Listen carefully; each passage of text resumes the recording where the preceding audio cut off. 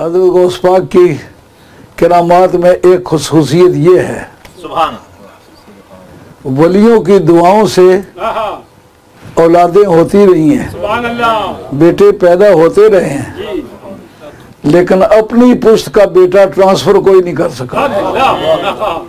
غوث پاک کی یہ اسپیشلٹی ہے۔ سبحان اللہ مخی الدین ابن عربی رحمۃ اللہ تعالی علیہ۔ آپ کے والد ان کے پاس حضور غوث پاک کے پاس آئے۔ عرض کیا، بندہ نواز، میرے لیے دعا کرے میں بے اولاد ہوں۔ میں نے بہت تعلیمی ادارے بنائے، کام چلانے والا اب کوئی نہیں ہے، میرا بیٹا ہو تو چلائے۔ آپ نے کہا تیرے آنے سے پہلے میں نے لوہے محفوظ پر نگاہ ڈالی ہے۔ تیرے مقدر میں نہیں ہے۔ انہوں نے کہا، اتنی بصیرت میری بھی ہے۔ میں نے بھی دیکھا، میرے مقدر میں نہیں ہے۔ آپ نے یہ بات کیوں کہی ہوئی ہے؟ انی رد القضاء بعد ما ابرم۔ میں تقدیر کو اس وقت ٹال سکتا ہوں جبکہ اٹل ہو گئی ہوتی ہے۔ یہ کہی ہے نا بات آپ نے۔ ان کا یہ تقدیر اٹل ہے۔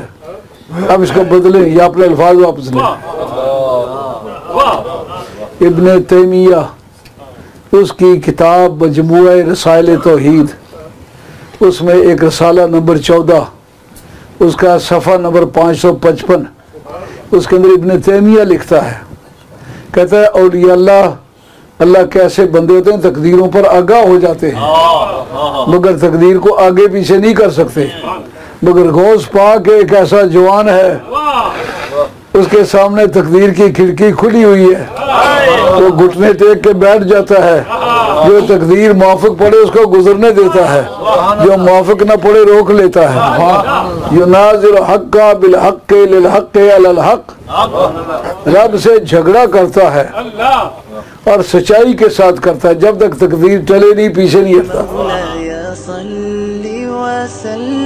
دائما ابدا على حبيبك خير الخلق كلهم